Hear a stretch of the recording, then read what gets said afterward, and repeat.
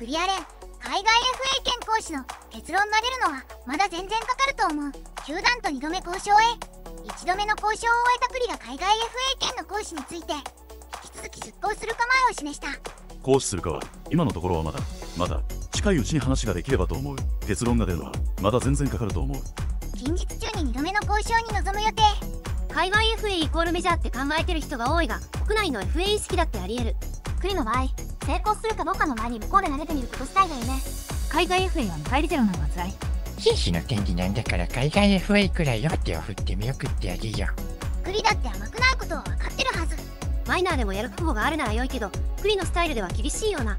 ただ去年より成績を落としてるから契約してくれるところがあるか心配。メジャーで通用しないという意見もあるが実際はやってみないとわからない。今シーズンの今永のように予想以上に大活躍するケースもあるクリの MLB 挑戦は他の野球人と思い入れが違う。野球を教えてくれた父上の母国であるアメリカで自分のプレーを見せたいからではないか。ただ家族のことを思い気持ちが揺れているのでは。個人的には国内移籍が十分あり得る気がする。うもしダメでもその時はまたカップに戻ってきてほしい。